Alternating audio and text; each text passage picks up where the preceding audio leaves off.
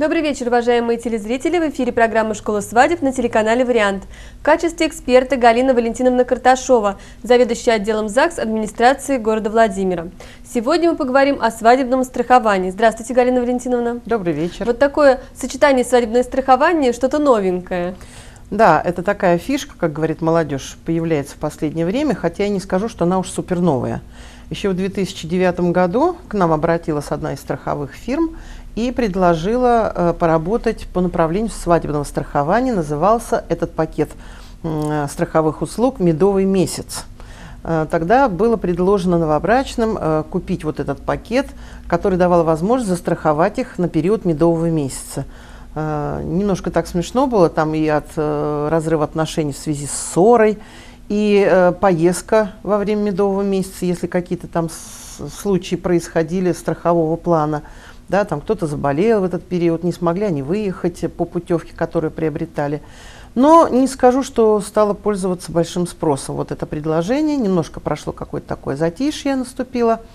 И вот сейчас мы э, узнаем о том, что э, в 2016 году э, Уралсиб разработал такой э, пакетный документ, коробочный, вернее, коробочный документ, э, короткий, быстрый Э, момент страхования, причем он э, предлагался и на период самого подготовки свадебного торжества и проведения торжества, и месяц после проведения свадьбы. Ну, надо сказать, что свадебное страхование имеет уже достаточно такой большой период распространения на Западе, в США. Это очень востребованная услуга, очень востребованная. А вот почему, интересно, в США это востребовано? Там чаще срываются свадьбы? Ну, вы знаете, люди там э, более прагматичные, и они очень умеют считать свои деньги, и поэтому стараются себя э, застраховать от всяких неожиданностей. Вот наш русский менталитет, мы очень суеверные. И, скажем так, вот даже по поводу брачных контрактов у нас туго идет дело, потому что нам кажется, ну как так, я люблю своего э, будущего мужа там, или свою жену, как-то я ей предложу на случай развода произвести вот такое вот э, оформление брачного контракта. Это значит, я уже как бы не уверен в наших отношениях. То есть здесь нет доли разума, здесь есть доля боязни э, показаться нелюбящим, э, неуверенным в себе и так далее. Я считаю, что это неправильно. Потому что в жизни может произойти все, что угодно, и все отношения имеют начало и конец. Просто у кого-то эти отношения продолжаются 60 лет, а у кого-то год-полтора. От этого никто не застрахован. И я думаю, что если бы люди заранее э, оформили, скажем, брачный контракт, ну, было бы намного меньше судебных процессов по разделу имущества, Э, сразу был бы определен порядок общения с детьми и э, что остается, скажем, мне после развода, у меня не было бы поводов устраивать скандалы, закатывать истерики, э, потому что я бы знал, что в документе это все уже прописано, поэтому остаются только личные отношения. То же самое со свадебным страхованием. Когда я разговаривала с парами и узнавала их мнение по поводу вот, страхования свадебного торжества, а мне говорят – да ну, это значит э, моделировать ситуацию, это значит уже как бы ее предусмотреть. Мы боимся сглазить, вот чтобы э, прошло все хорошо, мы не будем даже думать о плохом. Вот это наше суеверие подспудное, оно нам мешает э, здравомысляще так отнестись к определенным моментам. Хотя, скажем так, вот сейчас, например, идет период не очень большого количества свадеб, холодно, не очень уютно, поэтому рестораны свободны, э, свадебные организаторы предлагают э, услуги по заниженным ценам, потому что их не очень-то сейчас э, загружают. А вот летом происходит все с точностью да наоборот. Рестораны заранее все заказаны, видеографы все под завязку, значит, уже с определенными объемами работы. И естественно, что каждый старается в этот период побольше заработать. Соответственно, в этот период и возникают те ситуации, когда вдруг тебе отказывают в зале, э, в использовании зала ресторана. Вам сообщают, вы знаете, оказывается, у нас вот во втором журнале было записано э, бронь на эту свадьбу задолго до вашего заказа. Так что вы извините, э, вам придется искать другой ресторан. А когда искать другой ресторан, если они практически все заняты? Вот от таких случаев как раз оформляется страховка, финансовое возмещение тех затрат, которые вы понесли. Э, есть такие случаи, пусть они редкие, но они имеют место быть, поэтому, э, думаю, от них тоже надо застраховываться. Потеря э, колец, Бывает такое? Бывает. А, скажем так, э, видеограф, который должен с вами работать, сломал ногу, и он уже не будет с вами работать, хотя вы запланировали именно его, вы с ним обговорили сценарий проведения и так далее. То есть масса всяких нюансов, которые могут наложить негативный отпечаток на проведение свадебного торжества, все это можно застраховать. Конечно, сейчас еще очень малое количество фирм, которые этим занимаются, страховые фирмы. Но я думаю, если поискать, то можно найти и поработать в этом направлении. Вот интересно, а как вот подсчитывается, э, насколько велик ущерб?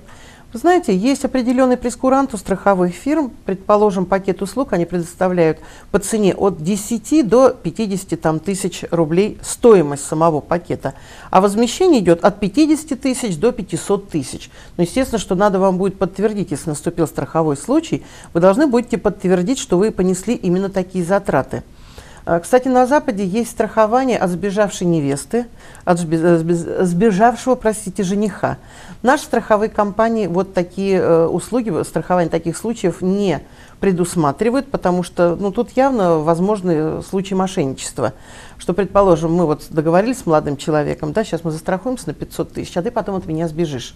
Ну, а мы с тобой через год распишем, зато мы получим с тобой полмиллиона. Поэтому, естественно, что страховые фирмы на территории Российской Федерации вот такие страховые случаи не предусматривают. А все остальное можно как бы вот это предусмотреть. Кстати, свадебное страхование – это очень хороший подарок. Его можно э, сделать в виде сертификата вот этого свадебного или там полиса. С, Но здесь, кстати, можно и заподозрить, да, что тебе, может быть, желают что-то. Да, ну, я вот считаю, что это такая глупость, вот какое-то детство, честное слово. Э, если мне хотят подарить документ, который меня обезопасит от каких-либо нюансов, ну почему бы и не иметь его? Скажите, пожалуйста, вы э, водите машину? У вас есть машина? Да, есть. Да. Вы страхуете свой э, автомобиль? Ну, потому что это обязательно. Вот видите, значит, мы обязательность принимаем как данность. И никто не думает, что, оформляя ОСАГО или КАСКО, мы заранее прогнозируем аварию на своей машине. Правильно? То есть это предупредительные, превентивные меры.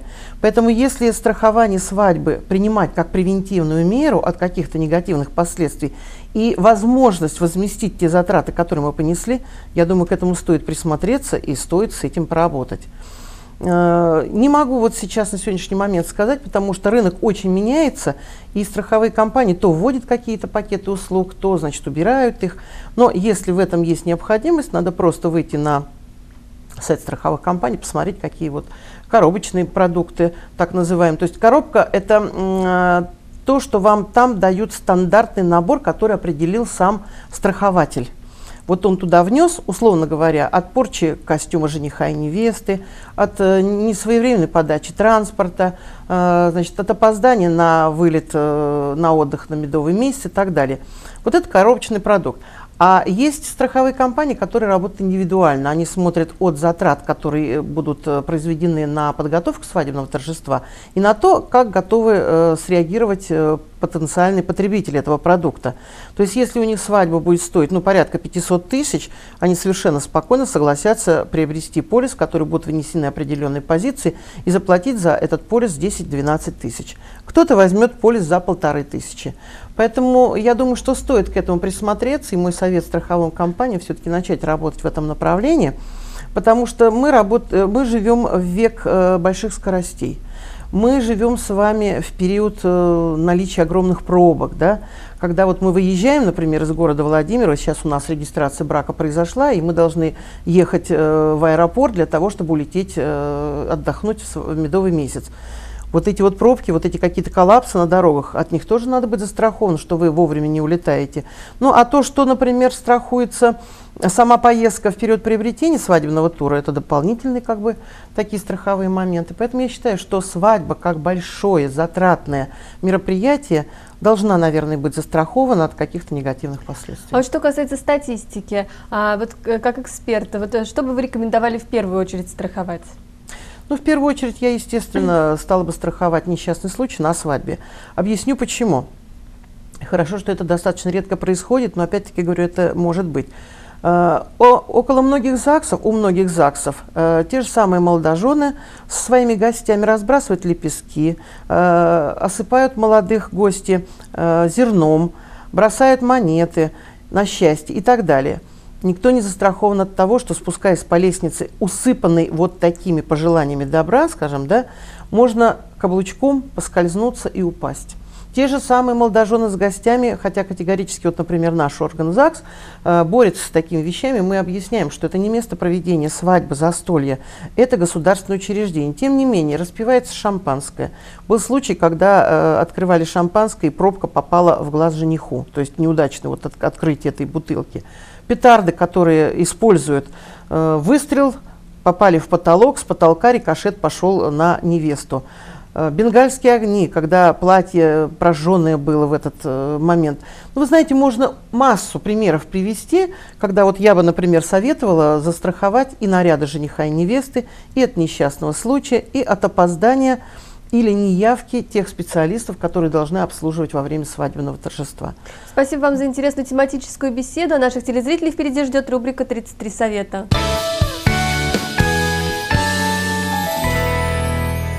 А мы продолжаем. В эфире рубрика «33 совета», в которой мы отвечаем на ваши вопросы.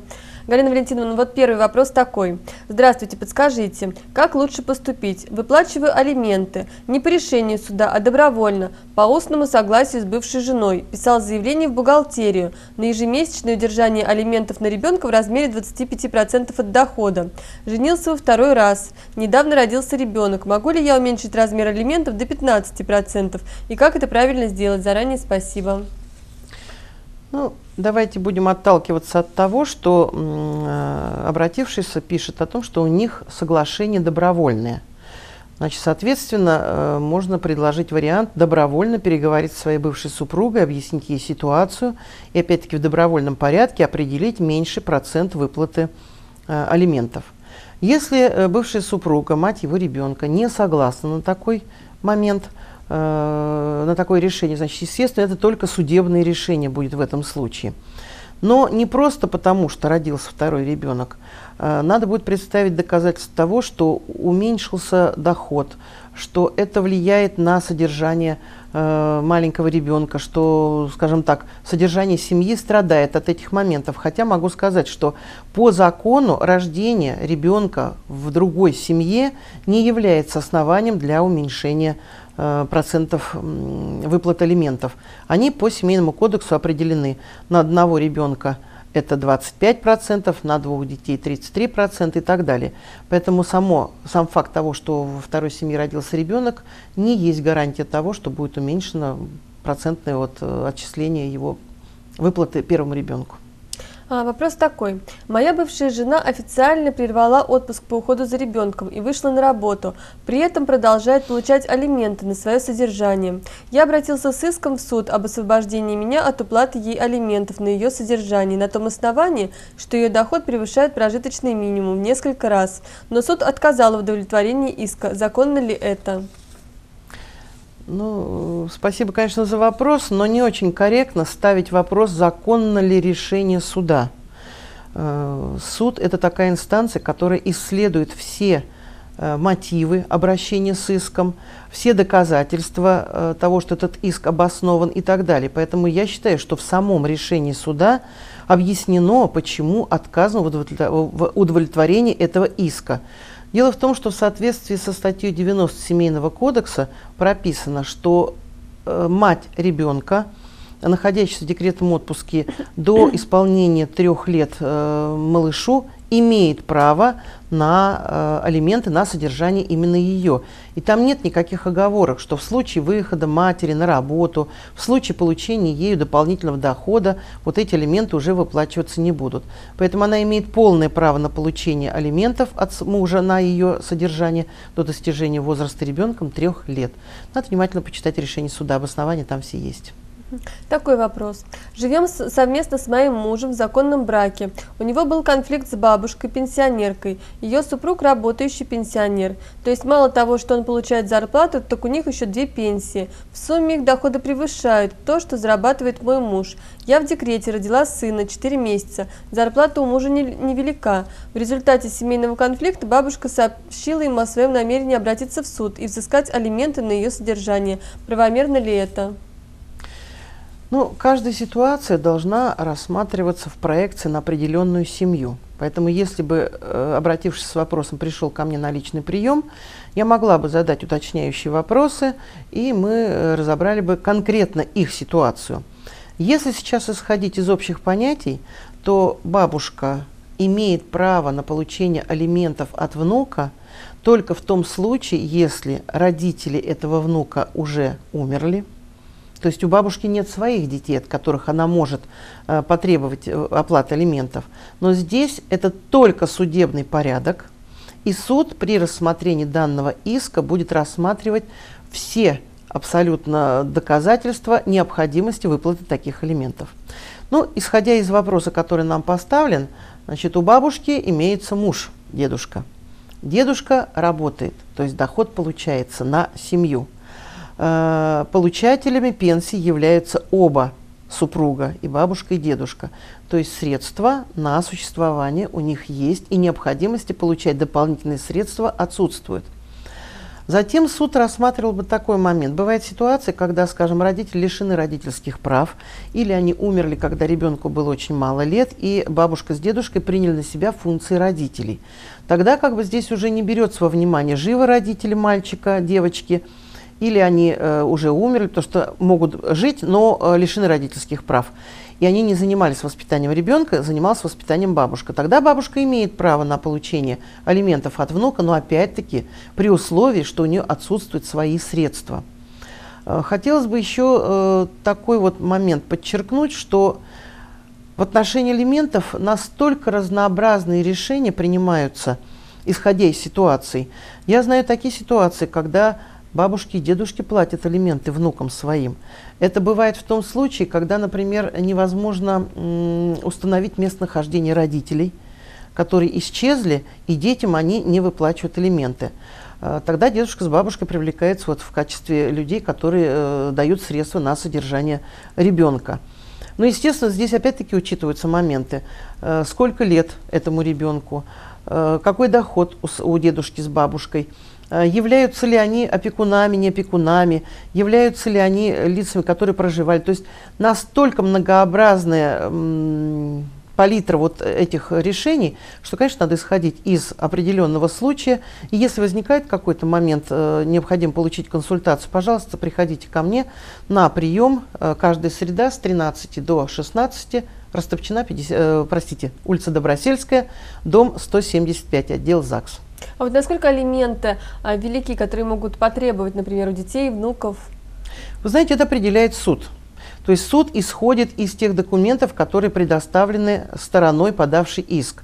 Скажем, бабушка подала иск по отношению к внуку, и она доказывает, что ее пенсия, условно говоря, 8 тысяч, а за квартиру ей надо заплатить 6 тысяч, ей надо покушать, ей надо еще на лекарства и так далее. В свое время она давала хорошее содержание внуку. Суд, исходя из доходов внука, чтобы не, э, скажем так, не уменьшить позиции его семьи, если там есть дети, которых тоже надо содержать. То есть все исходит из конкретного случая, подтвержденного документами. На слова суд ничего не берет, только документы, которые подтверждают наличие необходимости в содержании того или иного члена семьи. Такой вопрос. Здравствуйте, хотела бы проконсультироваться вот по такому вопросу. У меня от первого брака ребенок, а у бывшего мужа не маленькая задолженность по алиментам. Скажите, если мой второй муж усыновит первого ребенка, долг сгорает или остается за бывшим мужем? Тот же семейный кодекс э, прописывает, что при усыновлении удочерении ребенка э, алиментные обязательства предыдущего родителя заканчиваются.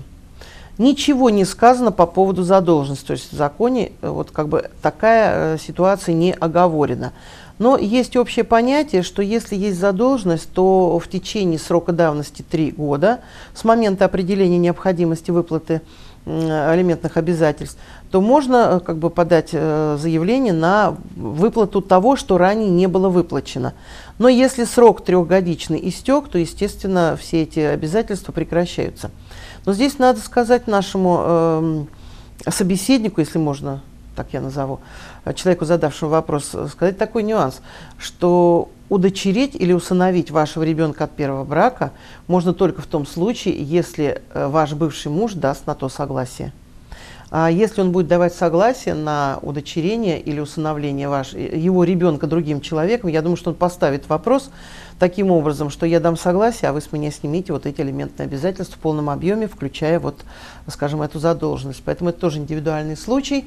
Но как общее, общее понятие, значит, при усыновлении все обязательства элементно прекращаются. Спасибо вам за интересный разговор, за ответы на вопросы наших телезрителей. Увидимся в следующей программе.